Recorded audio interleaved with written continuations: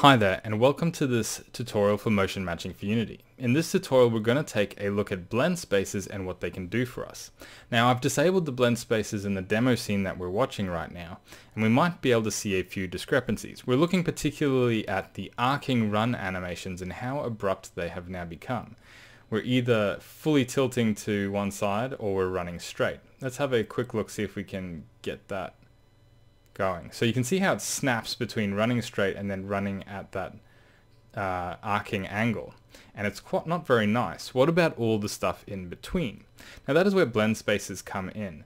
Now, if you don't know what a blend space is, it's basically the same as a blend tree in Mecanim. However, we don't use them as much in motion matching because a lot of the time blending is uh, you know is destructive. It doesn't maintain the quality of the animation and that's why we're not going to use it as much. We're only going to use it for these arcing runs because when we blend between running straight and an arcing run we don't actually lose much quality and that's why it's kind of okay to do it. Now, this is obviously a technique that you can only use with cut clips. Of course, uh, you could combine motion matching and a couple of cut clips to get the same effect. Um, but yeah, so let's have a look at how we can set that up. Let's actually go back into our project and re-enable that on our demo scene um, so that we can see what the actual desired effect is. Alright, so let's hit play and we'll see what the difference is now. So now we're getting much smoother kind of arcs. It's We're getting the in-betweens a lot more. We can still see the change between running forward and that's more just because of the quality of the animations. But it's generally much smoother and we get a whole bunch of more range in between those arcs. And it works a lot better, especially with uh, quality mocap cut clips uh, from, say, Kubold. It works really well. We can have a look at those later as well. But let's have a quick look on how this is all set up. So if we go to our demo scene preprocessor and we go to blend spaces, I can double click to open an editor. Uh, I recommend having a view of the scene so we can also preview this. So what is this? This is a 2D space and it's normalized. We have one on the top, negative one on the bottom, negative one on the left, and one on the right. Now typically we have a bunch of animations within the space and wherever our current position is in the space it will calculate a blend between all of these uh, points. So let's preview that and have a look. So the red is the position that we're currently at and if I move the red position I can turn snapping off in the top right here for a smoother look we can get a whole bunch of different in-between animations just like so. So now we're getting all these in-between animations. We have this blend space.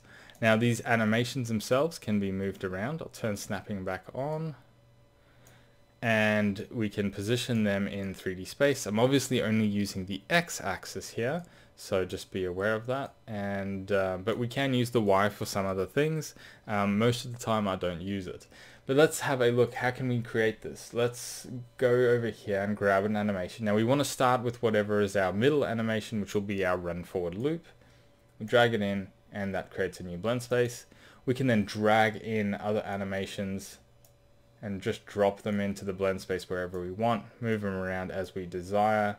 Um, so we'll add in the left, that was a left one here. This one's got to be over here, a left wide, and we need a right narrow bang so that is that set up. Now the only way other thing we need to do is we need to change the type of the blend space. Now the blend spaces have gone through a few iterations with motion matching for unity and um, so the original way that blend spaces were used is not the recommended way to use it and that's with a standard blend space.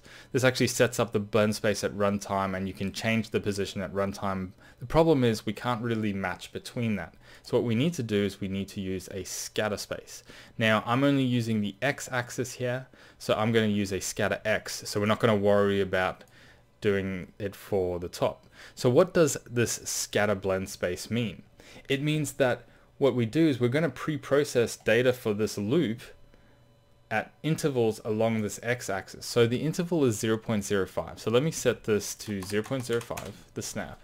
we're going to analyze a pose of this loop and then that loop and then that loop and then that loop and then that loop and then that loop, etc, etc, etc, etc, etc, all the way along. Now this might seem like a lot, but compared to mocap data, it's not really much.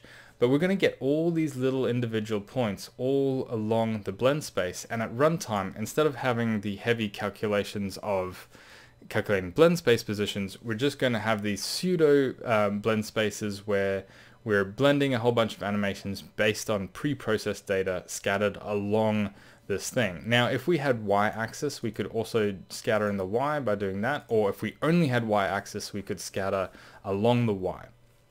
This may, might sound confusing, but basically we're taking this blend space and we're setting up a whole bunch of poses along the uh, for you know each pose interval at each different point along the blend space and so we can jump to those specific points in the blend space rather than actually moving around the blend space position at runtime. There is a use for that still, uh, but we'll get into that later.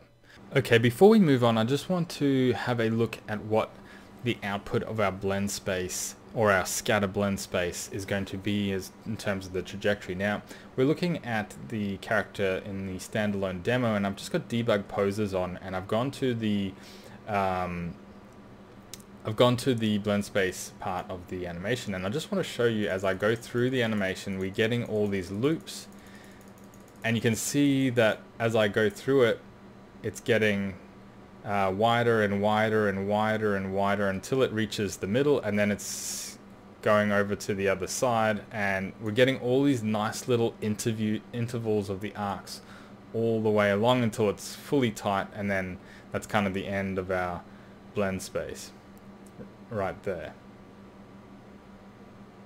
And we've got the same thing with the walks. We've got a really tight walk, and then it loosens up straight and then we got a really tight walk in the other way. So you can see the effect of the blend space there. We're getting all these lovely in-betweens that we couldn't get without the blend space or without proper good mocap data. Thank you for watching. I hope you have enjoyed this video and you've learned a bit about how to set up blend spaces for locomotion. I've decided to break up the blend spaces into two video tutorials to keep them a bit shorter in the next blend space tutorial, we're going to look at how we can use blend spaces and play them explicitly to do specific things like falling or gliding animations where locomotion doesn't really make sense. Thank you all for watching and I will see you in the next video.